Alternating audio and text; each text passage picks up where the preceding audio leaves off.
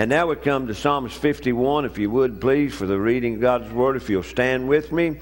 It says, Psalms 51, verses 1 through 15 says, Have mercy upon me. Have mercy upon me. And I want you to remember what he said a while ago. He said, That man's got to die. That man's got to be killed for doing that awful offense. But he's now crying out to God now, and he's saying, Have mercy upon me, O God, according to thy loving kindness, according unto thy multitude of thy tender mercies. Blot out my transgression. Wash me thoroughly from my iniquity and cleanse me from my sin. For I acknowledge my transgressions, and my sin is ever before me. Against thee and thee only have I sinned and done this evil in thy sight, that thou mightest be justified when thou speakest, and be clear when thou judgest. Behold, I was shapen in iniquity, and in sin did my mother conceive me.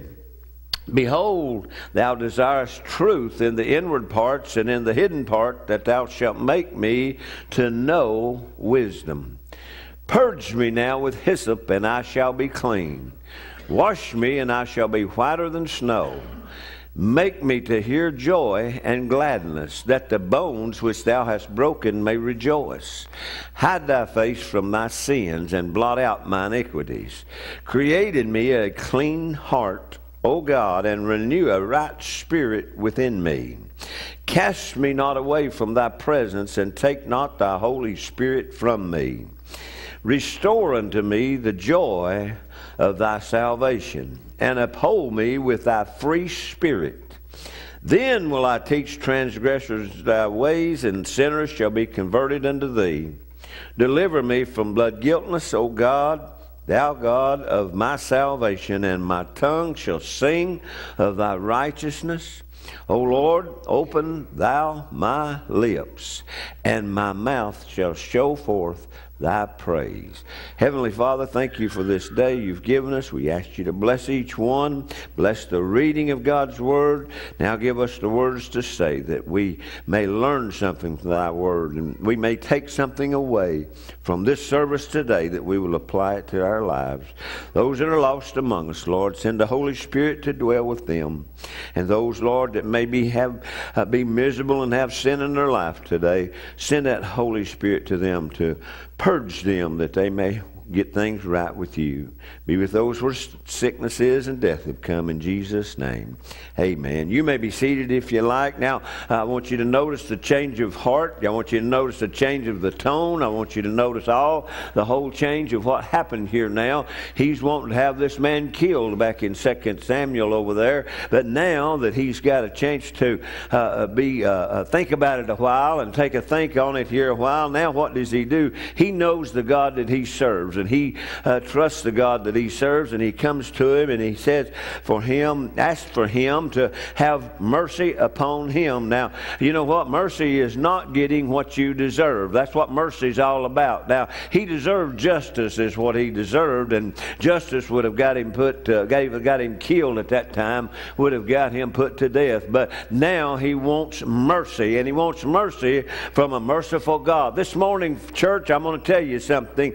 We ever one this morning, and under the sound of my voice this morning, we want mercy. We don't want justice. We want mercy from a merciful God this morning because we've all sinned and we've all come short of the glory of God. We've all done things that we uh, uh, that we're not proud of. We've all said things that we're not proud of, and and those uh, secret sins, as I told you a while ago, we've all got some of those that we're not proud of, and those things will haunt you, and those things will come back at you until you make all those things right with this merciful God that I'm talking about this morning. And that right there is the theme of what I told you a while ago that we don't have any power and we can't pray and we can't praise and we can't uh, uh, see people healed, delivered, and set free in the name of Jesus because we don't have any power with God because we've got sin in our life and we've got sin in our heart this morning. Now you say, well, preacher, I, I would have hoped that all the good singing you'd talk talk about heaven. Well, I will here just in a minute,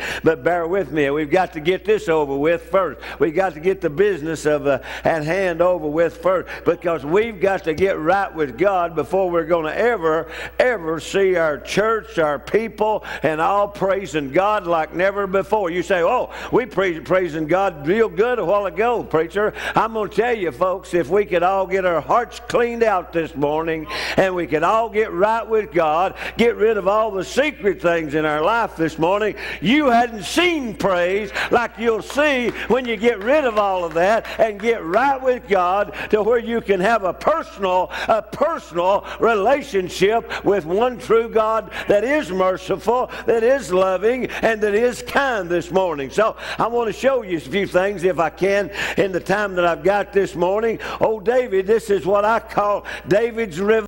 Everybody's talking about revival and all. Everybody's talking about uh, uh, uh, getting revived up. Well, I'm going to tell you, this is David's revival, is what this is right here in, Psalms 51. Oh, David had had it long enough. He had put up with it long enough. And what had happened was, he said, Man, I've got to do something. I've got to do something about this situation. And I know who to go to to get things done. I know to go to God and and God's going to hear my cry and He's going to hear my prayer.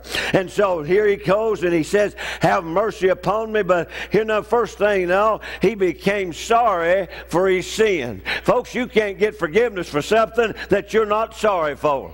You can't get forgiveness if you tell someone, Oh, I'm sorry, and don't mean it there. It does not mean a hill of beans. But if you truly, in your heart, that your heart hurts because you did something that was wrong wrong to someone, then and only then will it become effective, and only then will that relationship be renewed. That's the way it is with God this morning. If you say, God, I'm sorry that I just got caught, that doesn't make the difference right there. God doesn't hear that because God does not uh, God does not want to hear that you're just sorry because you got caught. He wants to hear you're sorry because it hurts within. And you know what happens?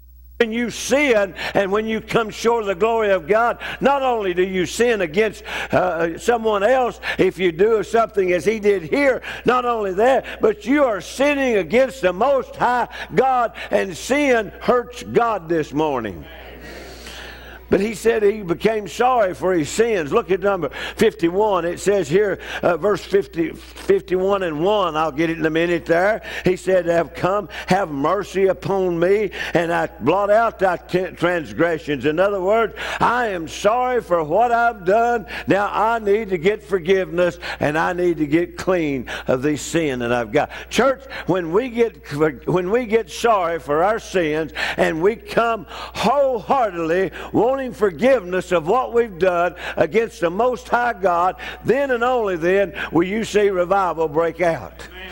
Then and only then. Well, you see it. So he got he became sorry for him. It says here uh, uh, also he become aware of his sins. He says, "Wash me, wash me thoroughly from my iniquity and cleanse me." He said, "I know exactly what I've done. Now, God, you can wash me. You're the only one that can cleanse. What can wash away my sin? Nothing but the blood of Jesus Christ this morning. What can wash away my sins? Nothing. That precious blood. Amen. So he, he become aware of his sins.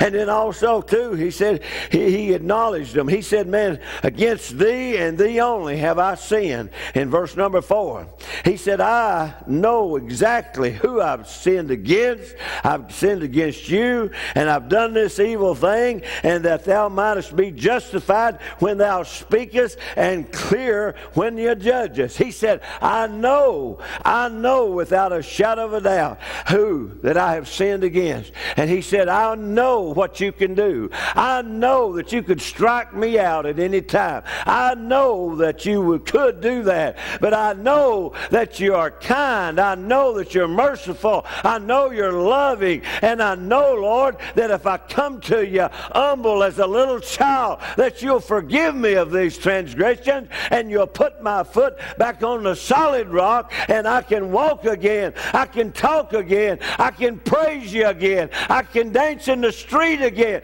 Folks, we're not worshiping like we once did because we're not living like we once did. We're not worshiping like we once did because we're not praising God like we once did.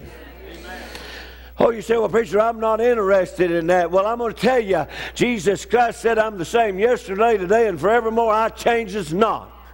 And you say, "Oh, well, preacher, we got to stay with the times." Well, you know what? This word right here, this word said it don't change at all. This word's the same as it was 2,000 years ago, and guess what? It'll be the same word of God until Jesus comes back. It'll be the same word of God, and we may preach it in different forms. We may sing it in different forms, but I'm telling you, the reading of God's word is going to be the same until it comes back.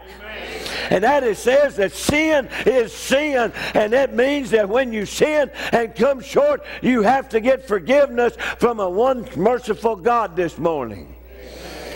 Oh, but he became sorry for his sins. He went through all the things. He got convicted. He went and confessed. He had uh, repentance. And now he says he wants to be cleaned of it. In verse number seven, purge me, purge me, clean me. I know who can clean you this morning. I can't clean you. I can't clean you this morning. I can't clean you up. I can pray for you, but I can't do it. But I know one who can this morning. I know one that'll forgive you this morning. I know one that will get you, give you, renew with you, renew in you a new spirit, and will renew you that back to where you was better than what you was to start with. And that's Jesus Christ this morning. Second thing I want you to look at, he became sick of himself. You say, What do you mean, preacher? He's the king. He's the king. He's got everything. Yeah, I'm going to tell you something. Not money will buy you everything. I said, not money will buy you everything. There's a lot of miserable rich folks out there today. And there's a lot of happy poor folks. Amen. A lot of happy poor folks going to the house of God this morning with this, what they barely got on their back right there. Not much money or not much uh, fame or not much uh, anything there, but they went to God's house this morning and they said, I'm going to come in and I'm going to praise the one that saved me. I'm going into the house of the Lord. And if it's dancing in the, in the hallway or if it's praising his name, while waving my hand or amening the preacher or the teacher or the singing. I'm praising you with everything in me. And there's a lot of people that can't say that this morning. A lot of people's not doing that this morning. And that's what I want us to do at New Beverly Baptist Church. I want us to be able to praise Him. I want us to be happy. I want us to now happy. You say happy, preacher. You're going to get in the part in a minute. You're going to talk about joy. Well, happy is happening. That's what I started to say. Happy is happenings right now. And oh, I'm going to tell you something. Happy is good. But I'm going to tell you, it's only temporary. It's only temporary. You get happy for a minute and 15 minutes, you won't be happy. You know? You won't be happy. But joy, you can be have joy in your heart and go through the worst valley that you've ever gone through in your life, and like Brother Doug's fixing to go through, uh, starting today, and all in the worst valley, the battle that you've ever fought, and still have joy in your heart, and still have the peace that passes all understanding, and still have the know that Jesus Christ is in full control this morning. But anyway, he became sick of himself. It's this king. He became sick of himself. You say, where do you get that at, preacher? Verse number 10. He says, create in me a clean heart. Oh God, well, oh God, clean, uh, create in me a clean heart. Listen, he wants more than forgiveness. He wants a new, brand new. He wants more than what he had. Folks, I wish we had a house full of church people this morning that would say that I've been saved, but I got sin in my life, and God, I want you to renew me and give me a new, start me afresh this morning, start me all over. Oh, listen, listen, not only that, not only that did he have sick of a dirty heart, he was sick of a wrong spirit. Now, Abel talked about that this morning about the spirit, uh, about a bad spirit. But I'm going to tell you, verse number 10 also says, and renew a right spirit within me. I'm going to tell you, you fool with somebody that's got an evil spirit, you fool with somebody that's got a wrong spirit, and I'm going to tell you, ain't no worse than fooling with the devil himself. There's some, there's some women and there's some men. I won't even stop there, men. I won't say they some men and they some women that's so full of the devil that you can't even be around them five minutes till you want to get away from them. I started to say, if you don't holler amen, I know I don't want to know some of them. And has to fool with some of them. Amen. But I'm telling you, he says now, here the king is crying out, Ah, oh, renew a right spirit within me. Oh, renew a right spirit to where that I will treat my brothers and sisters right. Oh, that I will serve God again. Oh, that I can dance in the streets again. Oh, that I can praise God again. Oh, that I will not take advantage of the poor folks again. That's the king saying that this morning. He's saying that, but you know what? We need to take that word and that uh, verse right after, creating us a clean heart and renew us a right spirit this morning. He was sick of the fear of being a castaway. See, verse 11 says, Cast me not away. He was afraid. He knew. He knew what it was to be in the presence of God. He knew what a wonderful feeling that it was to get in a good meeting in the temple. He knew what it was to get in the streets and praise God. He knew what it was. There's nothing like it. And folks, I'm going to tell you, if you're a born again child of God, and if you've ever witnessed the moving power of the Holy Spirit of God, if you've ever felt that tingle, if you've ever felt that move, if you've ever felt that good feeling that comes over you when you praise and worship God, if you've ever experienced that, there ain't nothing like it. You can't buy it. You can't steal it. You can't get it anywhere at all except through the power of the moving of the Holy Spirit of God this morning. And it's not something you can put on and turn on and turn off.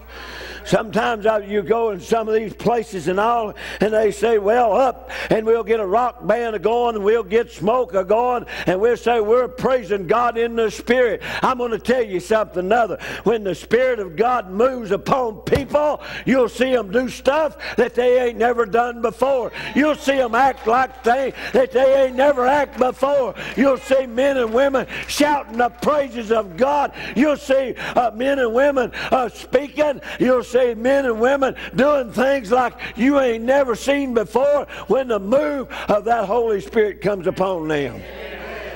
And I'm telling you, he was afraid he's God, God was going to take him away from all that. Because he said unto him, Cast me not away from thy presence. And think about it for just a minute. Think about it. Think about if your church and your, your, your church and the Holy Spirit of God was taken away from you this morning. And let me tell you why, uh, if I could for just a minute. I'll, I'll finish on time. But let me tell you why for just a minute here.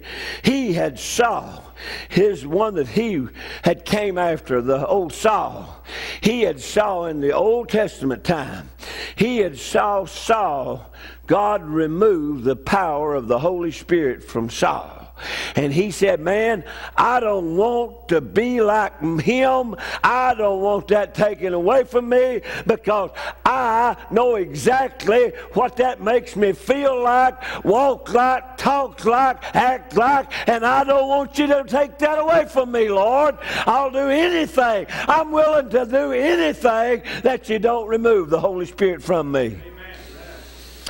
And then also, too, not only did he uh, fear of being a castaway, he was sick of having no joy. And here's where I want to stop just a second.